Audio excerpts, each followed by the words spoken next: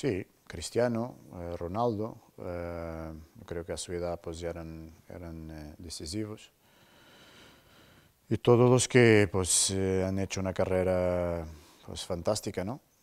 que han tenido continuidad, que han tenido rendimiento no solamente un año, pero durante bastantes años y que han empezado desde, desde muy pronto a tener responsabilidad.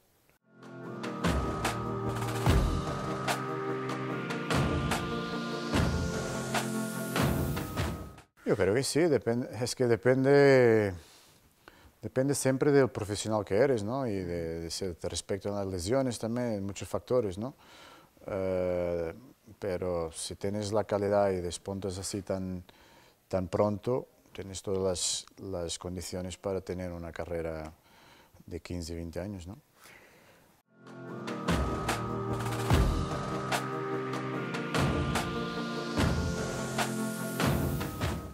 Bueno, ha hecho un año maravilloso, creo que y tiene unas cualidades impresionantes, eh, es pero es como siempre.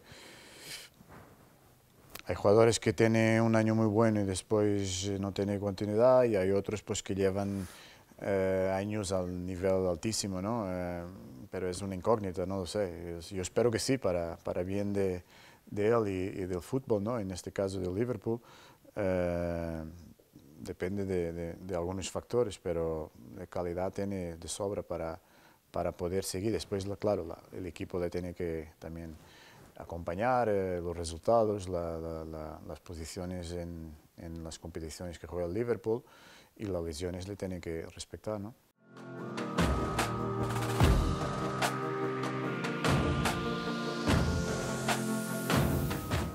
Yo creo que en condiciones eh, de calidad normales, Neymar. Eh, para mí es de los jugadores más impresionantes, pero es que depende mucho de, de otros factores, lo que gana ¿no? Eh, en términos de trofeos colectivos, lo que hacen Champions, pero yo creo que a nivel de calidad, para mí es un jugador impresionante.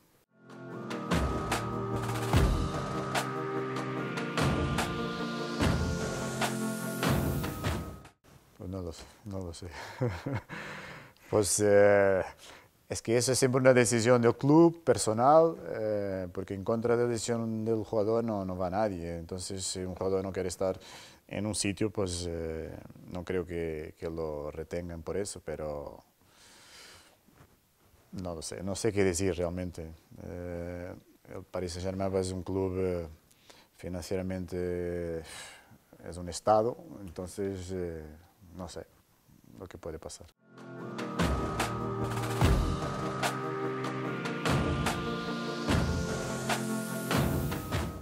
Todo es posible en el fútbol.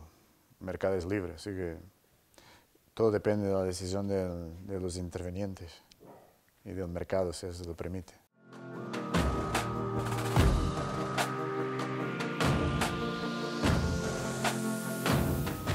Si yo fuera él, pues seguramente después de Madrid tendría opción de, de una selección importante o, de un club importante, pero no sé.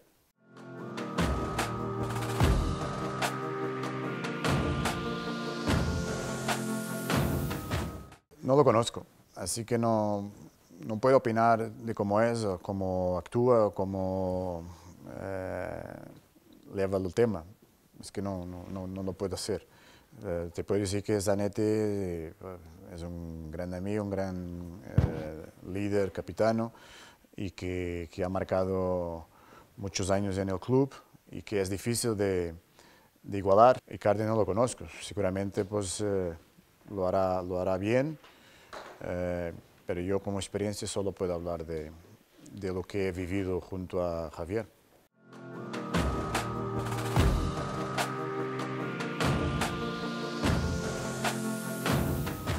Bueno, llegó al Milan en un momento difícil, ¿no? El club pasa por un, pasó o pasa por un momento de transición. Eh, el fútbol italiano no es lo mismo que el fútbol español para un delantero. Eh, es joven, entonces eh, primera experiencia fuera de Portugal. Son todos factores que, que pueden condicionar.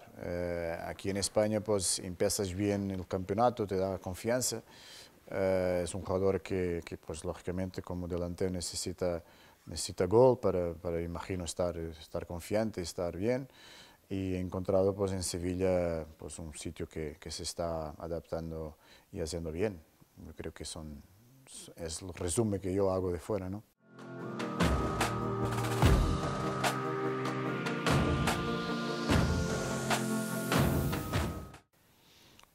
Para mí es siempre difícil marcar goles. para ti era mejor darlos, ¿no? Yo como marcaba pocos, como marcaba pocos, era difícil marcar en cualquier sitio, pero hombre, eh, la, cultura, la cultura del fútbol en Italia al ser eh, más estática, más eh, física, pues teóricamente sería más difícil, pero es que no, yo creo que es difícil marcar goles en cualquier parte del mundo, ¿no? O tienes gol y lo haces fácil, o no tienes y te cuesta más. Pero en términos de, cultura, pues teóricamente siempre ha sido un campeonato más, más difícil de meter goles, ¿no?